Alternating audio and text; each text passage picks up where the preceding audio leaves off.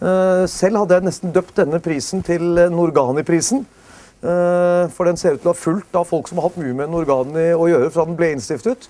Først så var det Bård Bjølgerud som i en ren Mor Teresa-handling eh, satte alle disse eiendommene sammen.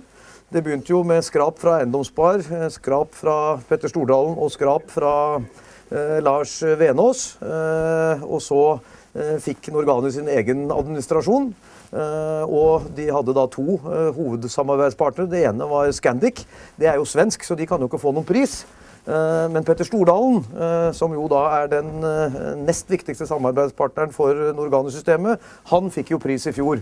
Og hva er vel da mer naturlig enn at prisen følger Norgani videre, og at det er jeg som ender opp med den i år. Dette sa Christian Ringnes da han denne uken mottok eiendomsprisen Estate Award under et seminar i regi av Estate Media. Bakgrunnen for valget av Ringnes var i særlig grad hans ferske kjøp av 73 Norgani-hoteller til en nette sum av 8,3 milliarder norske kroner. Ringnes sitter nå på mer enn 20 000 hotellrom og har tatt steget opp i den øverste ligaen i hotellsegmentet i Europa. Estate Award deles ut hvert år til en norsk aktør som på en eller annen måte har promotert Norge i det internasjonale eiendomsmarkedet. I fjor gikk prisen til Petter Stordalen, året før det igjen gikk prisen til Bård Bjølgerud. Christian Ringnes hadde følgende å si om Norgani-kjøpet.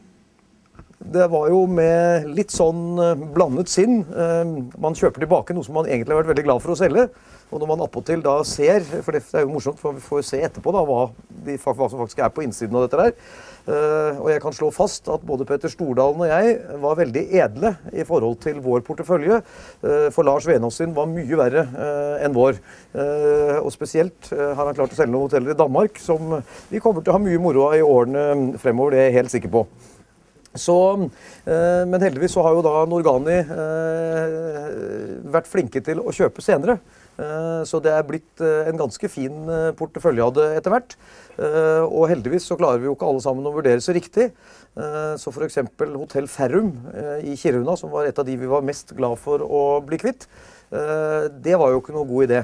For der er det jo slik at Kiruna by skal flyttes, og der får man igjen 125 av eh, verdien av hotellet. eh, Nyverdien av hotellet. Eh, Eller si man får et nytt hotell, pluss eh, 25 for bryderiet. Og sånne dealer vil man jo gjerne gjøre, så jeg er veldig glad for å være tilbake i Kiruna igjen. Det er helt supert.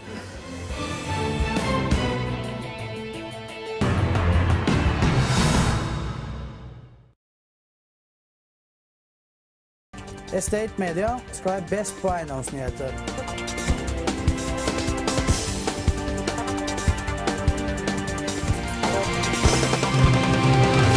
Håper du er med oss. Følg med.